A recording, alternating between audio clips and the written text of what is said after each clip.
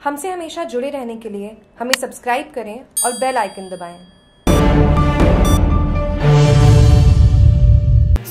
बाड़मेर में नगर परिषद के अतिक्रमण निरोधक दस्ते ने शनिवार अल सुबह शहर में अतिक्रमणों के खिलाफ हल्ला बोल दिया है। नगर परिषद के बुलडोजर के पंजे ने देखते ही देखते 16 बीघा पर बने अतिक्रमणों को धराशाही कर दिया। इस कार्यवाही के दौरान विरोध और उपद्रव की आशंकाओं के चलते भारी पुलिस बल और उपखंड मजिस्ट्रेट मौजूद रहे। सरहदी बाड़मेर जिला मुख्यालय पर शनिवार को अतिक्रमण के खिलाफ नगर परिषद का अतिक्रमण निरोधक दस्ता सुबह से ही अतिक्रमणों को धराशायी करता नज़र आया। बाड़मेर शहर के गेहूँ रोड स्थित कच्चे और पक्के अतिक्रमण के खिलाफ धावा बोलते हुए उन्हें ध्वस्त करने की कार्रवाई को अंजाम दिया गया। बाड़मेर नगर परिषद के खसरा नंबर 1434 से ये अतिक्रमण हटाए गए।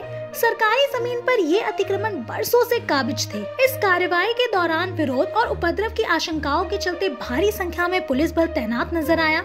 बाड़मेर कोतवाली महिला थाना ग्रामीण व सदर थाना अधिकारी सहित भारी संख्या में पुलिस जाब्ता तैनात होने के साथ साथ बाड़मेर उपखंड अधिकारी रोहित चौहान, पुलिस उप अधीक्षक महावीर शर्मा, तहसीलदार प्रेम सिंह चौधरी, नगर परिषद आयुक्त अशोक शर्मा समेत कई कार्मिक और अधिकारी मौजूद रहे। शहर की सरकार की इस कार्रवाई में 16 बीघा सरकारी ज़मीन से अतिक्रमण को हटाया गया है।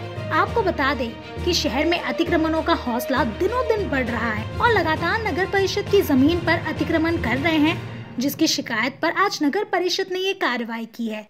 जागरूक टीवी की बाढ़ में से खास रिपोर्ट।